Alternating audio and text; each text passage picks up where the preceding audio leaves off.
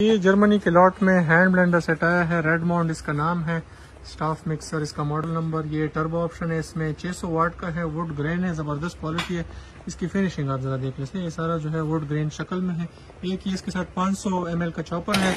ये इसका normal speed है और यहाँ से आप इसको एडजस्ट कर सकते हैं। आपने स्लो करना है, तेज करना है। यहाँ से आप स्पीड एडजस्ट कर सकते हैं। ठीक है।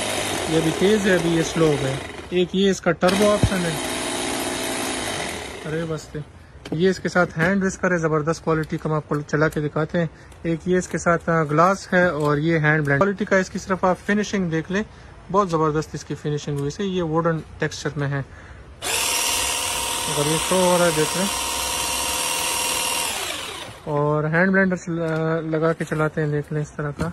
ज़बरदस्त क्वालिटी में है, बिल्कुल ब्रांड न्यू और लिमिटेड क्वांटिटी में आए हैं 600 वाट के। लेकिन इसका ये हैंड मिक्सर हो गया। इसके ब्लेड काफ़ी शार्प ब्लेड है। ब्लेड इसकी काफ़ी शार्प ब्लेड है। रेड मॉन्ट से ये chopper hand blender hand whisker और ग्लास